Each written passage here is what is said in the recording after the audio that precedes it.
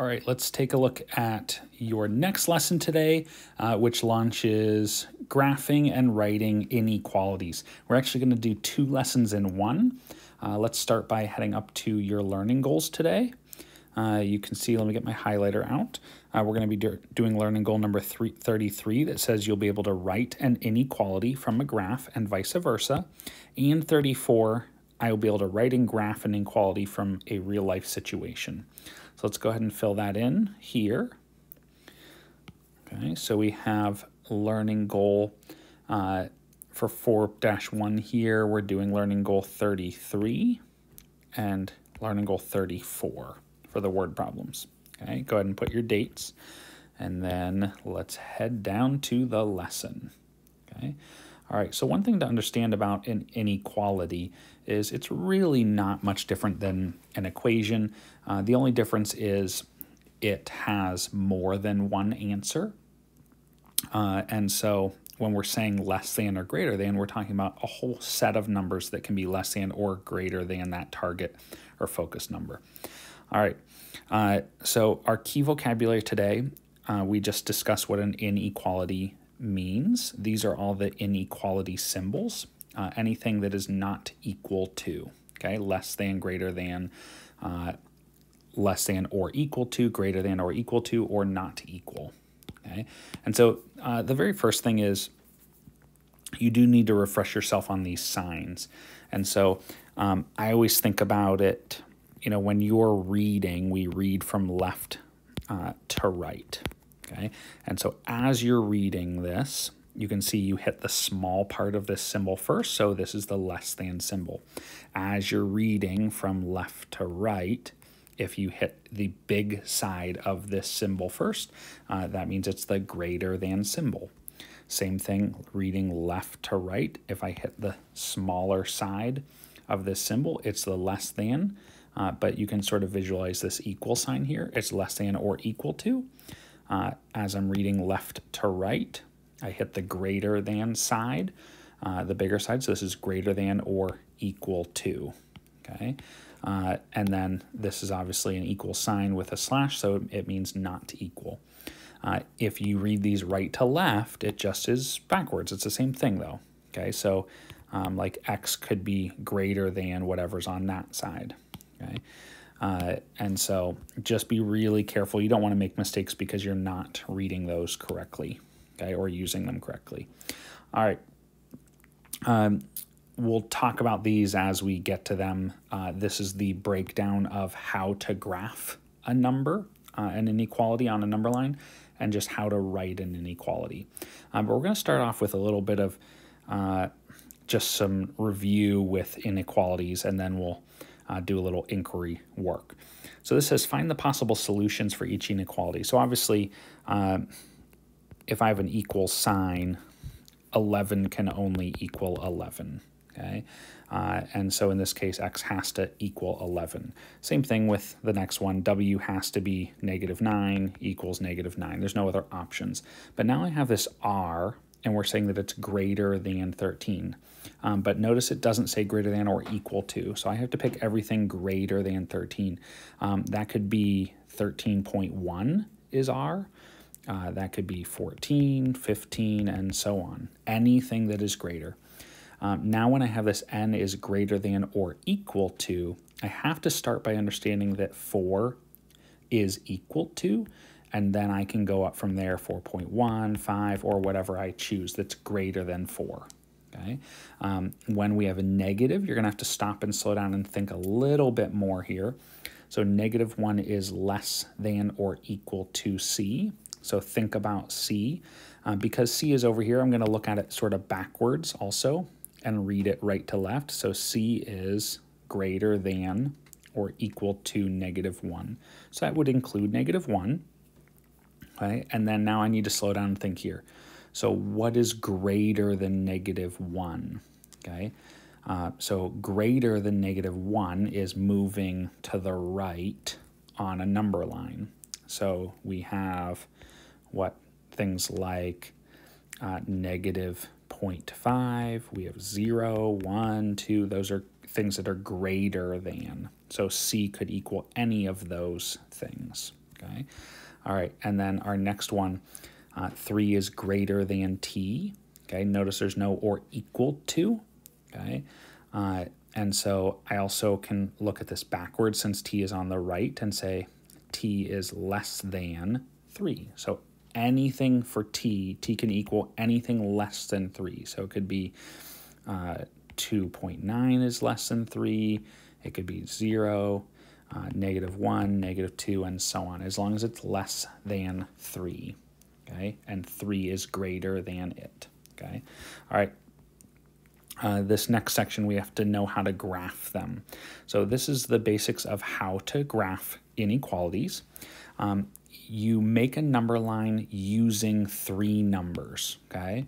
Um, you don't need to do more, but you can't do less.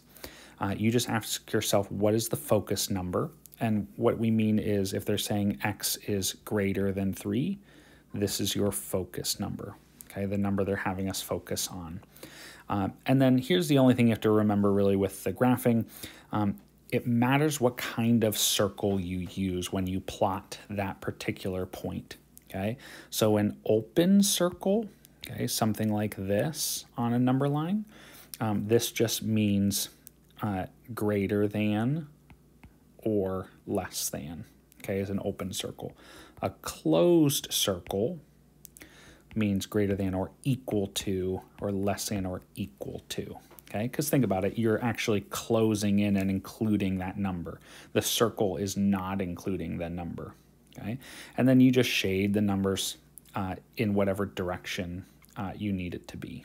Okay, all right, so I guess here's a good sort of example version of what these would look like. Okay, so only fill it in if it has the equal or equal to. So let's go down and we'll do these real quick. Okay, so if x equals 11, um, 11 is our target number, so I'm going to uh, put that right there. I'm going to just draw a really quick number line. Okay, just spread out uh, your threes. Lines go on forever, so make sure you have this. Uh, I'm going to go one higher and one lower. Okay, and so my target number is always going to be right here. So this is my target number. And x equals 11, so I'm just going to put a point right there. Okay, uh, and that is it for that. Okay, uh, now the next one, because we have a greater than uh, symbol, now I'm going to have the actual arrow uh, going in a direction because it's including lots of numbers, not just one. So the same thing, here's our target number is negative 1, and so that's going to be uh, my number I write down. Let's go ahead and just draw our line real quick and split that into threes. Okay, I'm going to go one higher than that, which is 0, and one lower, which is negative 2. Okay, and then I have greater than. Okay, so this is going to be an open circle. So you can see the little note I have here. If it's equal to, like over here, it's automatically a closed circle anytime you see the word equal to in there. So I have an open circle, and x are all the numbers that are greater than negative 1. Okay, uh, and so greater than is going to uh, send me to the right. So let me change colors here so it really stands out uh, and pick a smaller pen size here. So I'm going to have an open circle around the negative 1, okay, because it does not include, it's not equal to negative 1. Um, and all my x's are greater than. Okay, so I'm going to go ahead and show that darker shaded space going that way. And you have to really make sure it stands out so it's clear. You can't do a thin line over top. Okay. All right, let's go over the next one. Uh, let me go back to red, or maybe I'll just go to black. All right, now I see x is less than or equal to. I'm going to make my little hint that I'm going to have a solid circle because I see the equal to. Here's my target number is 7. Draw your line, your three tick marks. Okay, one uh, that goes higher, one that goes lower, and then I'm going to fill in because it says equal to, and then I need to do all the x's that are less than 7. So going smaller than 7. So that means I'm going to go ahead and do a darker shade all the way less than 7. All right, this next one, let me go back to black. Okay, um, I see there's no equals, okay, or equal to, so it's going to be an open circle. My target number is negative 6. Draw my line, draw my three tick marks. I need to go one higher, which would be negative 5, one lower, which is negative 7, a colder temperature. Go ahead and put my open circle and then decide which way my arrow is going. So I'm focusing on all the x's that are less than negative 6. So I'm going to read it this way. Okay? x's are less than negative 6. And so I'm going to show where all those numbers are that are less than negative 6. So you can see you just have to slow down be sort of careful. Um, this next one, it says that um, x does not equal 9. Okay, uh, and so if you ever see this, it just means that uh, it's an open circle because it does not equal. Uh, 9 is my target number. I'm going to draw my line just like I did before, put my three tick marks, do one higher, which is 10, one lower, which is 8, and all I'm going to do is put a circle uh, because it doesn't equal 9, but it also doesn't say that it equals other things either. Okay, and so it's just going to be a circle right there. Okay, and that is it there. Let's go ahead and look at uh, looking at a graph to determine what the inequality would be. Okay, uh, so when we're doing this, first look at your target number. So I can see my target number is 1. Okay, um, I can also see that it is shaded. And I sh know shaded means that it automatically is going to have an equal to. Okay, so I'm going to go ahead and uh, write my target number of 1. Okay, and then I'm going to um, go ahead and write the uh, variable. And so we're just going to put x here. And then I need to decide um, I know that it has the or equal to, but I do need to now think, is it going to be less than or greater than? So what are all the x's? Okay, since they're moving to the left, the x's are less than or equal to 1. So you can see the process of how you would go through there. So let's look at this. Right away I can see that it's uh, not equal at all. So it's just greater than or less than. Uh, because it's going to the right, my x's are all going to be greater than. Uh, and I can see my target number. So let's write your target number is negative 2. Okay, uh, put my x. It's easiest to always do the x's on the left when you're writing them. Uh, and then I need to look, there's no equals because it's open. So it's just going to be all my x's are, because it's going to the right, greater than negative 2. Okay, all right, let's go ahead and take a look at 4-1 and then uh, we'll be able to do some practice with this. Okay. All right, so these are some word problems. Okay, um, when you are looking at word problems, uh, and just writing them in general, you really want to identify like what is the variable going to be. Pick a variable that makes sense. Find that focus number. Okay, and then decide if things are um, less than or greater than and or less than or equal to, greater than or equal to or possibly not equal. Uh, all right, let's go ahead and take a look at that together.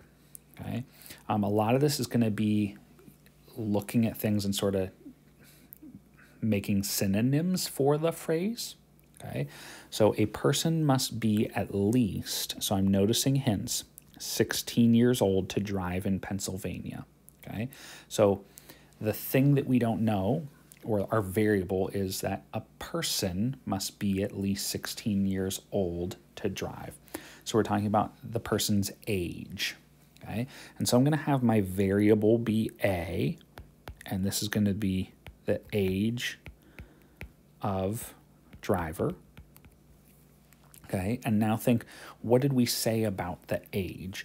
And so what you want to do is sort of give a summary of what this means by using the words greater than or less than. So ask yourself, does a person need to be greater than 16 years or less than 16 years. And if they have to be at least 16 years, um, that means they have to be that number or older. And so since they have to be greater than 16 years, um, but it says at least that. So you have to ask, can they be 16? If they can be that number, they can be greater than or equal to that number. So you have to talk through it like that. Okay, so now I know my variable. So I can say the age of people must be greater than or equal to 16. So let's go ahead and graph it. Remember, we start by putting our target number, which is 16. Then I'll draw my line, put your three ticks, and then one higher, one lower. Okay, it has equal to. So I'm going to go ahead and shade in the six. And then all of my A's have to be greater than or equal to. So we're going to head this direction and really shade that in sort of dark to represent something different there. So we have the age is 16 or more because it's shaded in. All right, next one. The number of hours a person can work a week without getting overtime is at most 40 hours. So start to ask yourself, um, it says at most 40 hours. So can you be more? If no, then no, you have to be 40 hours or less. Okay, because it says at most 40. So can you be 40? Yes. Okay, so let's figure out our variable. So we're talking about hours. So I'm going to choose A as my variable. So uh, hours you can work. And we're going to put our variable first. So my hours can be at most 40 hours. Okay, so that means my hours have to be less than, they cannot be more than 40 hours. They have to be less than, can they be equal to? Yeah, it just says at most 40 hours. Okay, so my hours have to be less than or equal to 40, okay, to be allowed. So now I can go ahead and copy this down. So a lot of it is just talking through it.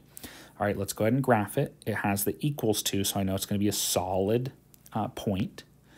Uh, we're going to write our target number, draw our line, do our three tick marks, and then I can go ahead and shade in this point for 40 because it includes 40 and all of my H's, my numbers or hours are less than the 40. So I'm going to go ahead and pick a different color to make it really stand out, shade it in really well, and show that arrow going to the left showing that the hours have to be 40 or less. Okay, so there we go. All right, take a look at number three in order to ride the triple threat roller coaster, you must be no less. So think about that what means. I'm not allowed to be less than 42 inches tall. Okay, so put that in terms of less than or greater than. So do I have to be less than 42 or do I need to be uh, 42 or greater? If I can be no less than 42 to ride. That means I have to be 42 inches or more to get to go on. So what are we talking about? We're talking about how tall. So my height has to be greater than 42. But then I ask, can I be 42? It just says no less than 42. So if I can be 42, then it's greater than or equal to. Let's define our variable. So h is my height, H-E-I-G-H-T. Um, my inequality is my height must be greater than or equal to 42.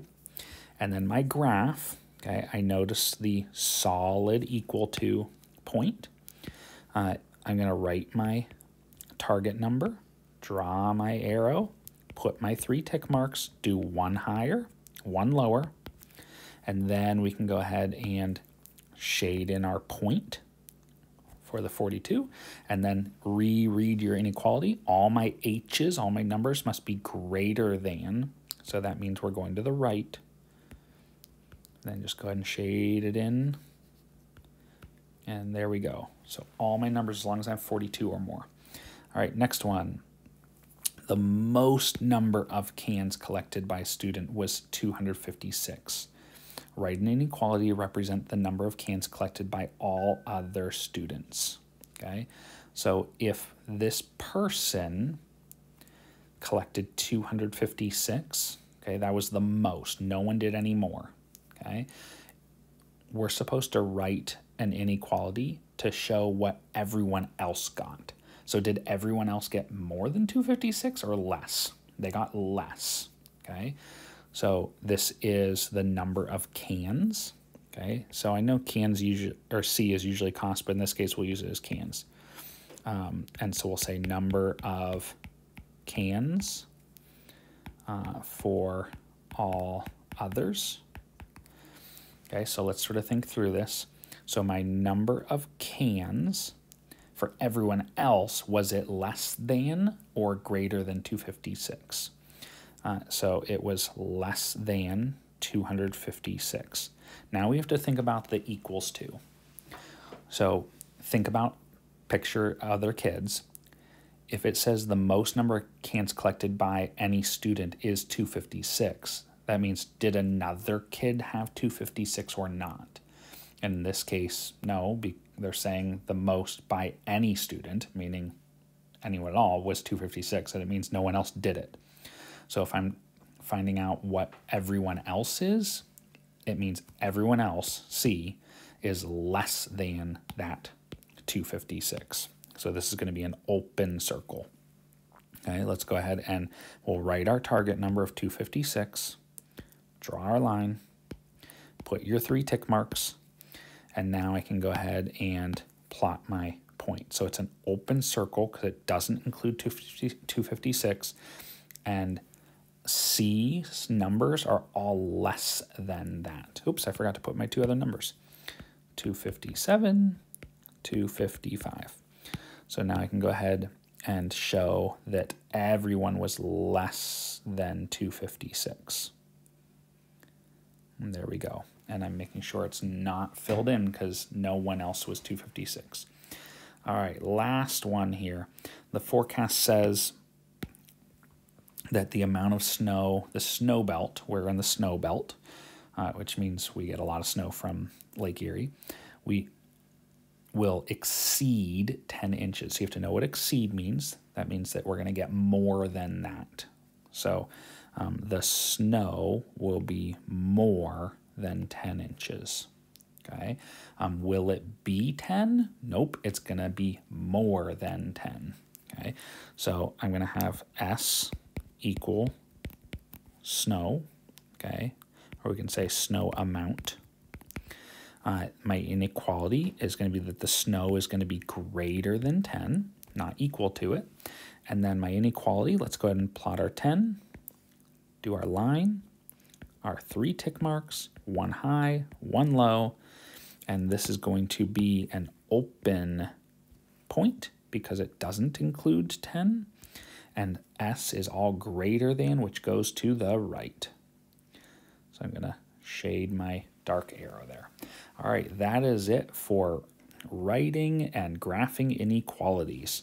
Um, obviously, the big focus is just slowing down um, your new information today is those filled in points versus the not filled in. Uh, so focus on that and all those other little tips for determining greater than or less than.